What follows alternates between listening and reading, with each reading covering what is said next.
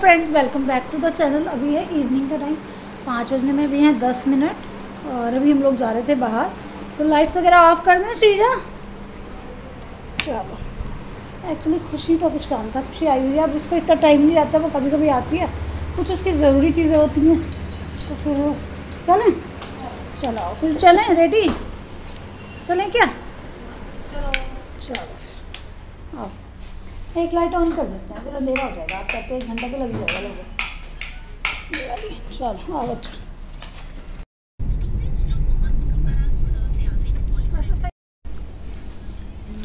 है medium size के अंदर?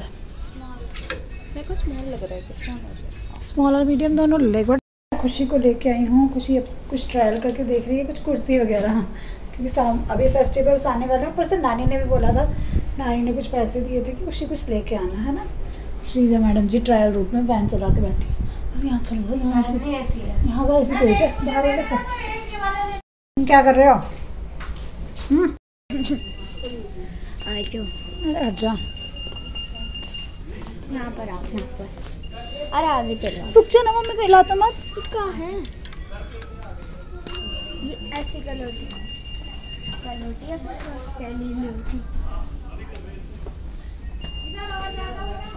आ जा रही हूँ।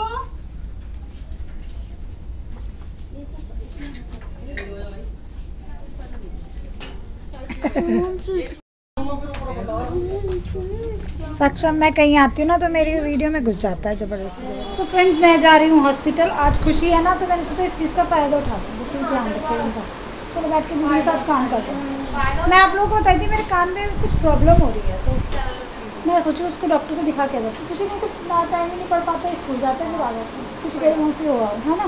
फिर ज़्यादा परेशान करेंगे तो इसका काम बंद करके आराम से ले जाइए ठीक है? ओके? क्योंकि बहुत तंग करते हैं जब इन्हें काम कराओ। और बाहर बहुत ज़्यादा गर्मी है। और मैं हो गई हूँ रेडी मॉर्निंग का टाइम है टेन थर्टी हो गए हैं। आई थिंक दस बजे से डॉक्टर बैठ ही जाते होंगे। इधर लग रही है मशीन कपड़े आके फैलाऊँगी। लंच की भी आज कोई तैयारी नहीं करी मैंने बच्चों ये दरवाज़ा बंद कर लो फिर है ना?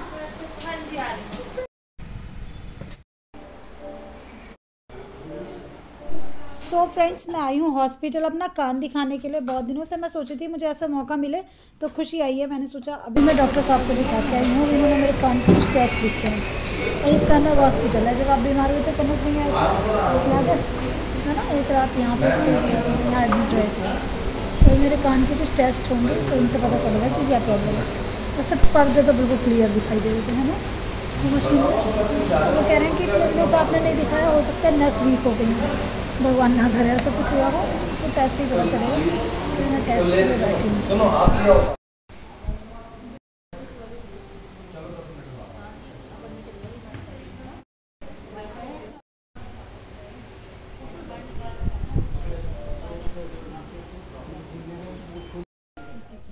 जितनी बार भी आएगी हाथ ऊपर उठाना बंद होते ही नीचे करना। हल्की सी महसूस भी देगा आवाज़ आ रही है तो भी हाथ उठाना।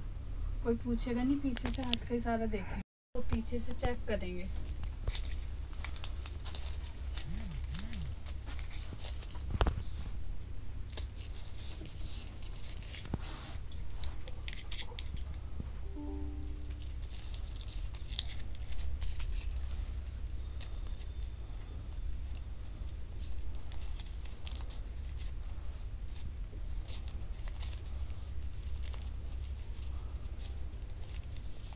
उसमें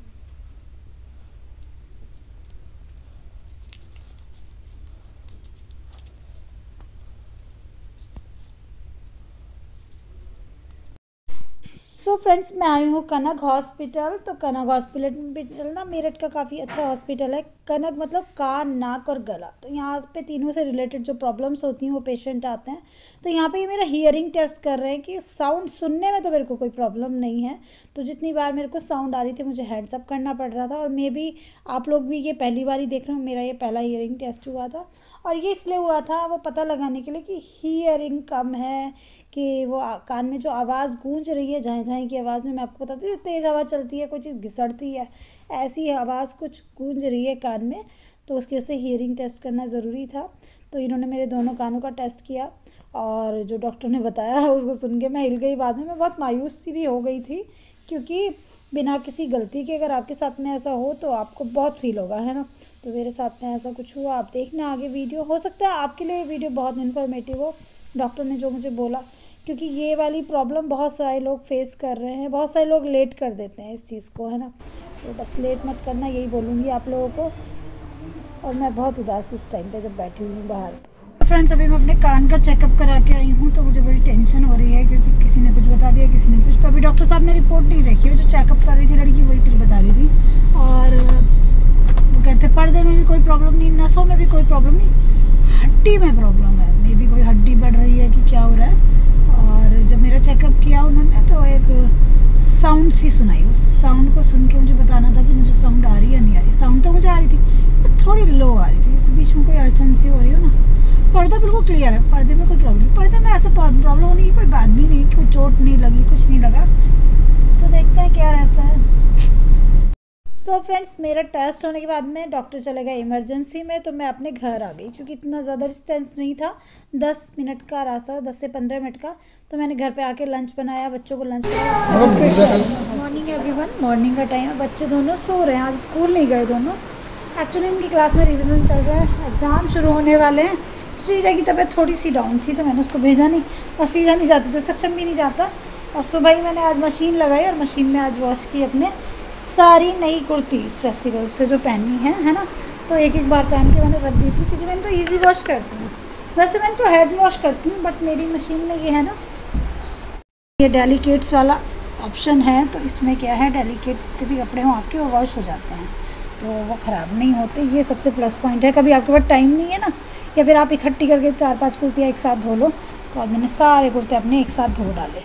तो आज मैंने अपने सारे नए कुर्ते वॉश करके डाले हैं और इनको मैं छाया में ही सुखाऊँगी। धूप में नहीं सुखाती। धूप में ना कपड़ों के कलर ख़राब हो जाते हैं। अभी मेरे पास दो लीटर दूध का पैकेट बचा रखा है। ये कल यूज़ नहीं हुआ था तो मैंने इसे फ्रिज में ऐसे रख दिया था। थी राखी तो राखी के दिन क्या होता है ना? स्वीट्स भी होती हैं मॉर्निंग में और फिर खाना भी इस तरह का हैवी बनता है तो बच्चे दूध वगैरह थोड़ा कम ही लेते हैं। तो मैं सोची हूँ जन्माष्टमी आ गई है तो इसका मैं खोया बना लेती हूँ क्योंकि प्रसाद बनेगा है ना? खाना जी के लिए। तो अभी मैं इसको रख देती हूँ। पकने के लिए मेरे लिए ईजी हो जाता है। खोया बना रखा हो ना फ्रिज में? तो आप प्रसाद में कुछ भी बना लो। पंजीरी बना लो, कुछ अच्छी सी मिठाई बना लो, लड्डू बना लो, है ना?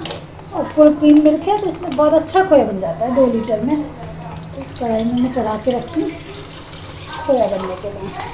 और खोया बनाने के लिए मैं ऐसे करती हूँ कि जब भी किचन में होती है, तभी गैस ऑन कर लेती हूँ, फिर बंद कर लेती हूँ। तो दो से तीन बार करके पकाने में मेरा खोया अच्छे से बन जाता है, मुझे परेशान भी नहीं होना पड़ता। ये फ्रिज में रखा होता तो मलाई पैकेट में ही है, इसको थोड़ी देर रखती हूँ मेल्ट हो जाएगी जब डालूँगी। दूध चल गया है खोया बनने के लिए। और इधर मैंने कुछ रखा है, ये दाल।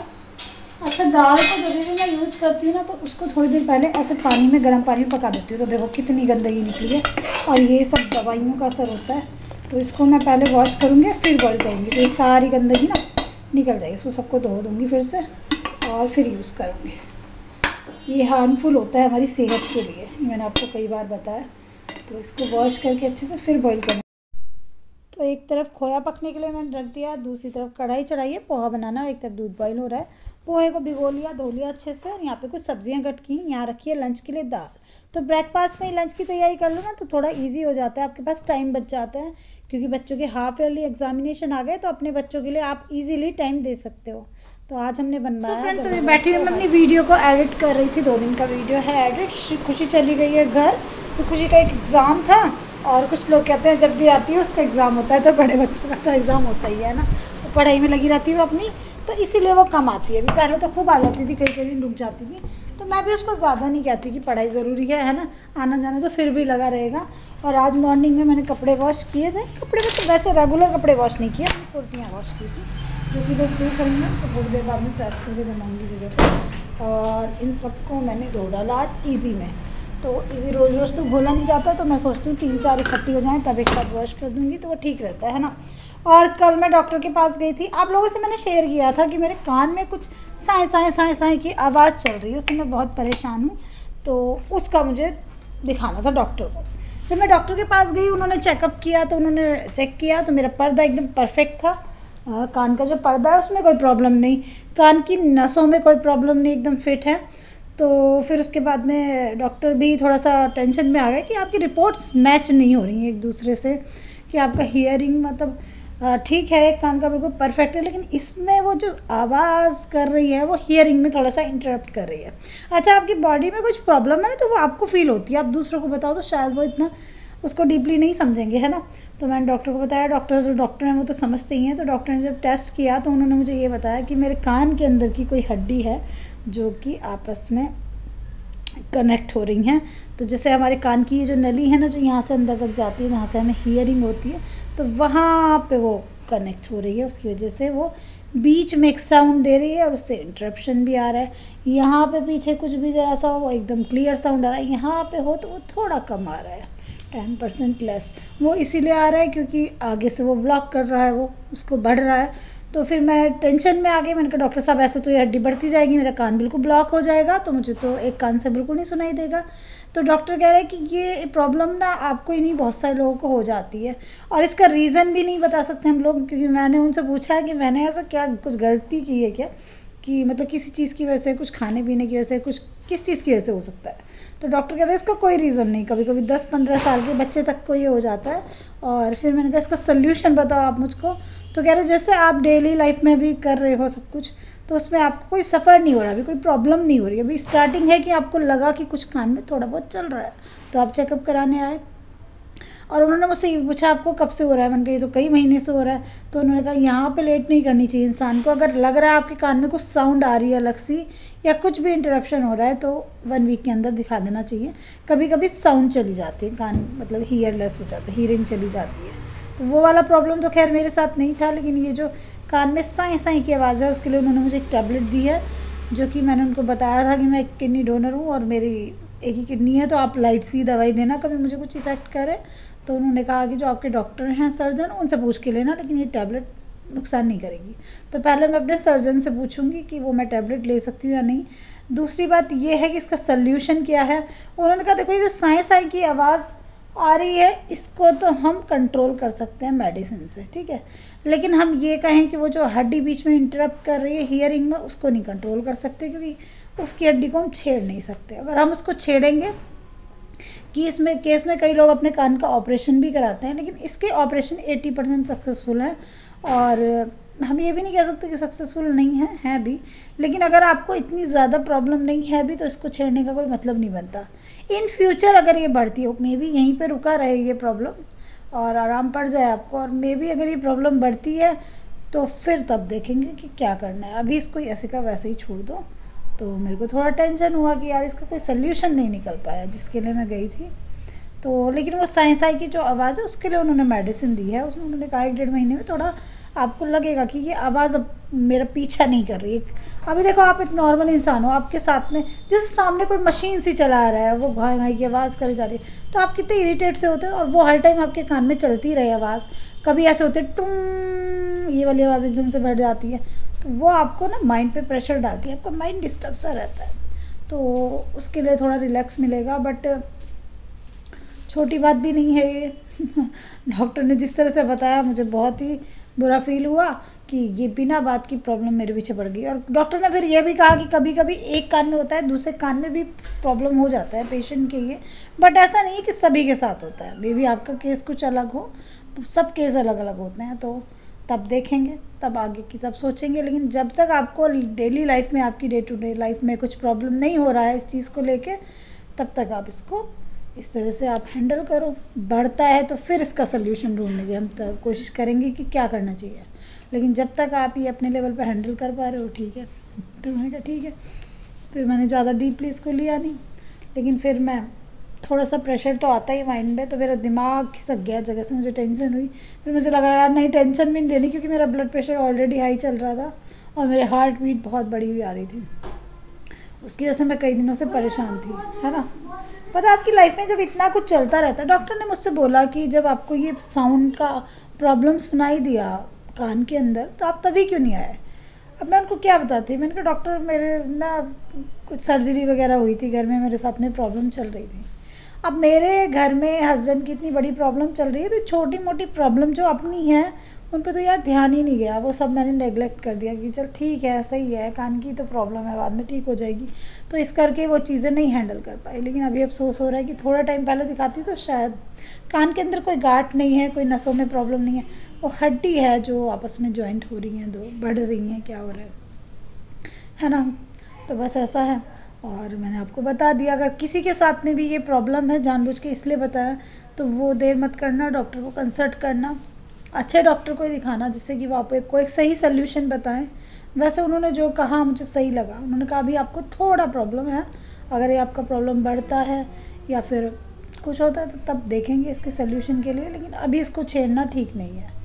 क्योंकि उन्होंने बोला कभी कभी ना पेशेंट इस चीज़ को छिड़वा लेता है, लेकिन उससे क्या होता है, वो हंड्रेड परसेंट उस उनका ख़राब हो जाता है। तो ऐसा तो मैं नहीं चाहूँगी, है ना? कि मेरा हंड्रेड परसेंट ख़राब हो जाए। टेन परसेंट सही करने के चक्कर में आप अपना हंड्रेड परसेंट ख़राब नहीं कर सकते हो। तो बस ऐसा दोस्तों, आज का ब्लॉग कैसा लगा कमेंट करके बताना। कल के एक ब्लॉग में मिलते हैं प्यारे से ब्लॉग में, तब तक के लिए bye bye love you all my YouTube family घर के अंदर ना एक मक्खी मंडरा रही है बार बार बार बार आ रही है। गेट खुलता है बाहर से तो आ जाती है। बड़ा मुश्किल से पहले निकाली थी घर से, फिर से आ गई। तो चलिए दोस्तों, ये आज का ब्लॉग रहा। अब इस चीज़ को माइंड से निकालने में थोड़ा टाइम तो लगेगा, है ना? क्योंकि आगे की टेंशन थोड़ी सी तो रहती है, बढ़ गई तो फिर क्या करूँगी? चलिए बाय बाय